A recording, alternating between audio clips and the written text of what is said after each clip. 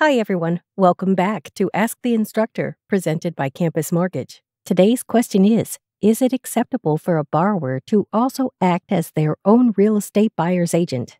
Great question. As a senior underwriter, here are my thoughts. Yes, this is an acceptable practice and is seen rather often. The borrower may also choose to apply the commission they would earn as the acting buyer's agent from the sale to the funds required to close. This can be a little tricky, as the commission will have to be easily discernible from the contract, and the borrower will have to also provide a letter from their broker that indicates the amount of the commission and that it is authorized to be paid out at closing as a credit on behalf of the borrower. It must be clearly reflected in the final closing disclosure and match the amount of the commission.